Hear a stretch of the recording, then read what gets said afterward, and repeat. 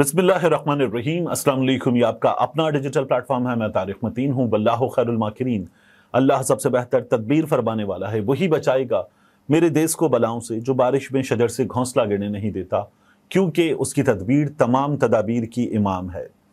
जो सूरत हाल मरी में पेश आई थी चौदह अगस्त को, उसके बाद मरियम नवाज़ शरीफ साहिबा ने मियाँ नवाज़ शरीफ की तस्वीर पर जो जूते फेंके गए, एक्शन लिया है। मरियम नवाज़ शरीफ साहिबा ने क्या एक्शन लिया है, क्या हुआ है उस रोज क्या हुआ था?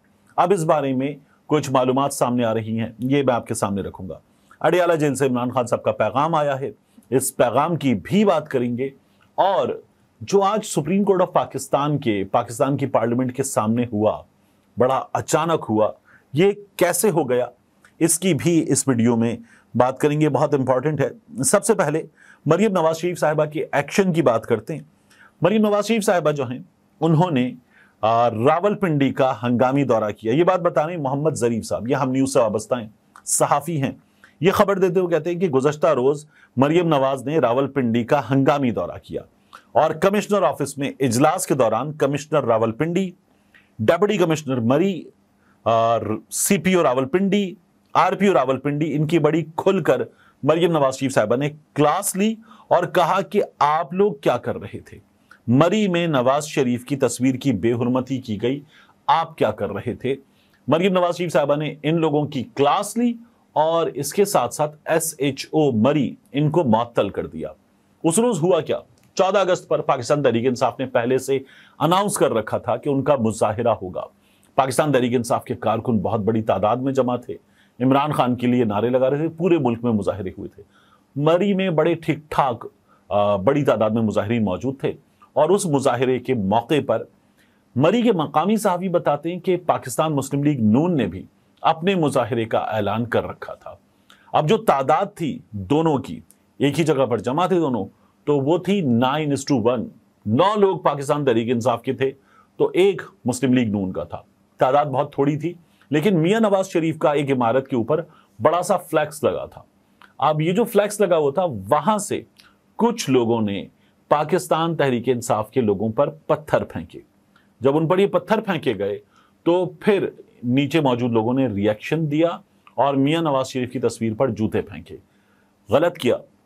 मैंने आपसे उस रोज भी कहा था कि ये सियासी कारकुन का तर्ज अमल नहीं होता। सियासी कारकुन बर्दाश्त का मुजाहरा करता है, क्योंकि नतीजा क्या होता है? जब आप एक कायद पर, एक जमात के कायद पर जूते फेंकेंगे तो उस जमात के कारकुन यही अमल आपके कायद के साथ भी करेंगे तो सियासी कारकुन इससे बचते हैं। ये एक्शन हो, या इसके अलावा आप मोबाइल उठाएँ और मोबाइल उठा के, ओए चोर, भाग के आ गया, ये करें, या नारे लगाएँ तो हमेशा उनका जवाब इसी तरह के तर्ज अमल से मिलता है। इसलिए सियासी कारकुन को इससे बचना चाहिए, और सियासी कारकुन बचता है।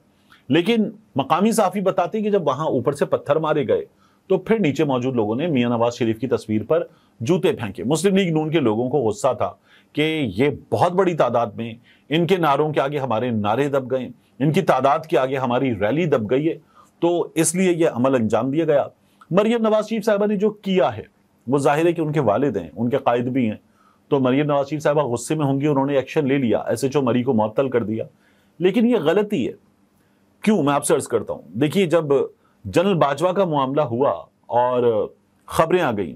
एफबीआर के लोगों के हवाले से या उनके टैक्स डॉक्यूमेंट्स वगैरह सामने आ गए थे तो एफबीआर के लोगों के हवाले से एक्शन लिया गया। तो उसके नतीजे में क्या हुआ? पहले खबर नहीं चली थी कि जनरल बाजवा के बारे में खबर है, फैक्ट फोकस ने दी है और चैनल्स वगैरह चलाते हुए डर रहे थे।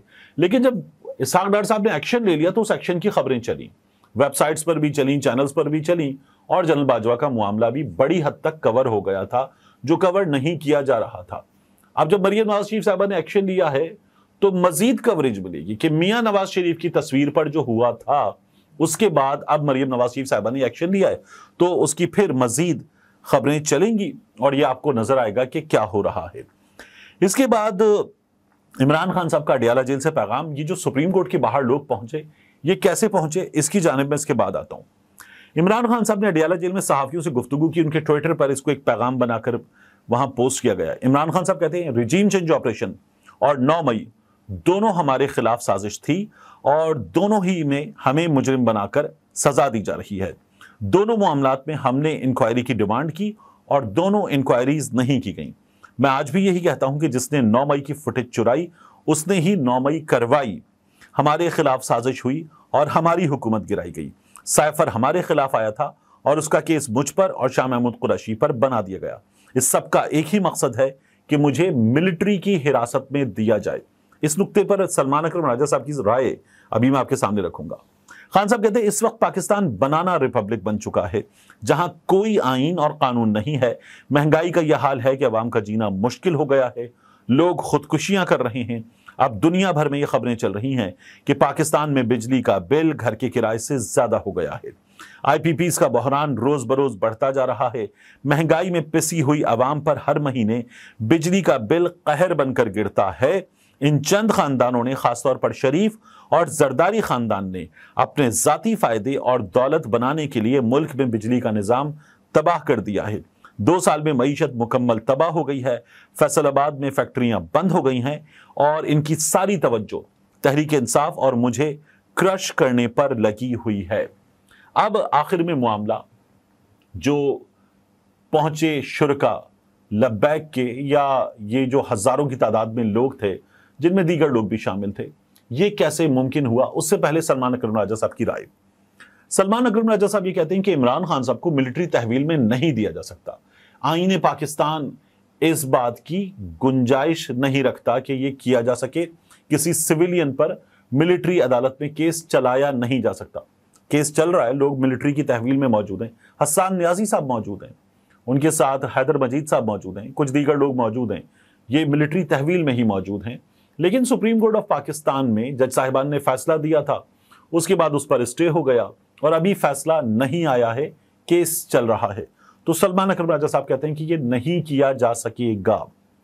इस सिलसिले में मुस्तफ़ा नवाज़ खोकर साहब ने आसमान शिराजी साहिबा के प्रोग्राम में बैठकर कहा कि आपको याद होगा पाकिस्तान तहरीक इंसाफ पर पाबंदी लगाने के लिए। अता तारर साहब ने ऐलान किया, प्रेस कॉन्फ्रेंस हुई, काफ़ी कुछ हुआ और कहा गया, बतौर जमात पाकिस्तान तहरीक इंसाफ पर पाबंदी लगाई जा रही है। एक तो पाकिस्तान के अंदर से रिएक्शन आया इसके खिलाफ, पाकिस्तान से बाहर से रिएक्शन आया और हुकूमत मजबूर हो गई। अब वो चैप्टर तकरीबन आपको क्लोज नज़र आता है और पाकिस्तान तरीके साहब पर पाबंदी की बात अब नहीं हो रही। मुस्तफ़ा नवाज़ खोकर साहब कहते हैं कि इमरान खान साहब उन पर जब ये मिलिट्री अदालत में ट्रायल की बात होगी तो फिर आपको नज़र आएगा कि बैन अवी बरदरी से रिएक्शन आएगा और ये इतना आसान नहीं होगा, ये नहीं हो पाएगा। ये राय हमारे सामने आ रही है। अब आ जाइए ये जो सुप्रीम कोर्ट के बाहर हज़ारों की तादाद में लोग पहुँचे ये पहुँचे कैसे? आपने मनाजिर देखे बहुत बड़ी तादाद में लोग थे। आ, ये जिस तरह से फैले हुए थे तो उससे तो तादाद लाखों में नज़र आई थी लेकिन हज़ारों की तादाद में लोग थे। यानी एक जानब ये सुप्रीम कोर्ट के सामने मौजूद थे पार्लियामेंट के सामने मौजूद थे वजी अजम हाउस के सामने मौजूद थे। ये एरिया ही बहुत बड़ा है। यहाँ ये सब मौजूद थे। इनका जो आरजी स्टेज था या ट्रक था जिस पर हमने देखा कि वो साउंड सिस्टम वगैरह के साथ मौजूद थे। तो ये तमाम अफराद वहाँ पहुँच गए। कैसे पहुँचे? ये बड़ा सवाल है। इस्लामाबाद के बाद सहाफ़ी ये कहते हैं कि फिक्स्ड मैच था। ये फिक्स्ड मैच था। इन लोगों को आने दिया गया। ये 22 अगस्त की समाज से पहले मैसेज देना चाहते थे। इनको ये मैसेज देने की मोहलत दे दी गई, मौका दे दिया गया। कैसे मैं आपके सामने रखता हूँ? देखिए रावलपिंडी के चौक चौराहों पर बैनर्स लगे हुए थे। उन बैनर्स पर लिखा हुआ था चलो चलो, आप पारा चौक तक सुप्रीम कोर्ट चलो। उन्नीस अगस्त, बाद नमाज़ जहर, एहतजाजी मुजाहरा, सुप्रीम कोर्ट के कादियानियत नवाज़ फैसले के खिलाफ शाहिद गफूर पराचा, शर्जील मीर, अरशद आवान और ख़त्म नबूवत metro station Murree road, Shamsabad, काफिला रवानगी, दिन एक बजे। तमाम चीज़ें इस पर लिखी हुई थी। वक्त लिखा हुआ था ऑर्गेनाइजर्स और सपोर्टर्स के नाम लिखे हुए थे। कहाँ से कहाँ तक जाना है ये लिखा हुआ था। ये ऐसा नहीं हुआ कि हज़ारों अफराद जो है, वो ज़मीन में कहीं कमांडो एक्शन की तरह ज़मीन से में पिछे हुए हों और केमोफ्लाज केमोफ्लाज किया उन्होंने और अचानक उठ के आए हों और फिर उसके बाद जो है, वो भागे हुए, पहुँच जाए, ऐसा नहीं हुआ। ये तमाम अफराद जो थे, ये तैयारी करके आए थे। लेकिन ये तैयारी इंतजामिया को क्यों नहीं पता थी? डी चौक रुकावटें हैं बैरियर्स हैं सिक्योरिटी है। इस्लामाबाद में दफ़ा एक का मामला है रेड जोन है, उसकी अपनी सिक्योरिटी होती है। और फिर इस्लामाबाद में सब कुछ हो तो तैयारी होती है। अगर पहले से बैनर्स लगे हों, लोग आ रहे हैं, सब कुछ हो तो तैयारी होती है। लेकिन ये सब कुछ नहीं हुआ, और ये लोग बड़ी आसानी के साथ आ गए। प्लेकर्ड्स लेकर, गाड़ियाँ लेकर, ये आ गए, इन्होंने दरवाजे खोले, रुकावटें हटाई, इनको कोई नहीं रोक रहा था। जो आँसू गैस की शेलिंग थी वो भी कुछ खास शेलिंग नहीं थी। वो ऐसा लगा कि वो दिखावे के लिए की गई ऑप्टिक्स थे लेकिन इन लोगों को जाने दिया गया सुप्रीम कोर्ट ऑफ़ पाकिस्तान तक और ये वहाँ पर मुजाहरा करके चले गए। आप एक और चीज़ देखिए कि मेट्रो जब ऐसा कुछ हो तो मेट्रो फौरी तौर पर बंद हो जाती है। मेट्रो भी बंद नहीं हुई। इनमें से बहुत बड़ी तादाद में लोग आ, मेट्रो के ज़रिए पहुँचे तो मेट्रो भी बंद नहीं की गई। इन लोगों ने एक आध सिग्नल विग्नल तोड़ा अपने गमो गुस्से का इजहार किया और उसके बाद ये चले गए।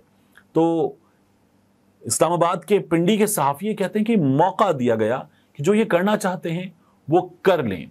अब 22 अगस्त को समात है, उस समाज से पहले इन्होंने ये मैसेज दे दिया कुछ लोगों का ख्याल है कि 22 अगस्त को एक बार फिर मुजाहिरा किया जा सकता है, जबकि बाद सहाफ़ियों का कहना है कि ये पैगाम जो इनको देना था, वो पैगाम दे दिया गया है। अब शायद इसकी ज़रूरत ना पड़े। बहरहाल एक बहुत ही हसास मामला अदालत में है। ये जो तरीक़ा था ये तरीक़ा गलत था। लोग कह रहे हैं कि मुतालबात ठीक हैं और सुप्रीम कोर्ट ऑफ़ पाकिस्तान में जब समात होगी, हुकूमत पंजाब भी फरीक बनकर आ गई है तो देखते हैं कि क्या बनता है। मिलते हैं इंशाल्लाह आपसे अगली वीडियो में। आप देख सकते हैं हमारा दूसरा चैनल डॉक्यूमेंटेड भी। डॉक्यूमेंटेड में हम पाकिस्तान की तारीख के अहम तरीन वाकयात बाज़ात आलमी तारीख के अहम तरीन वाक़ डॉक्यूमेंट करेंगे। ऐसी कहानियाँ जो ज़रा छुपी हुई हैं, अनकही हैं, मुकम्मल तफसीलात के साथ आपके सामने नहीं हैं। ऐसी कहानियाँ जिन्हें सुनकर आप दांतों तले उंगलियाँ दबा लें कि क्या ऐसा भी हो सकता है। उन वाक़ात को हम कर रहे हैं डॉक्यूमेंटेड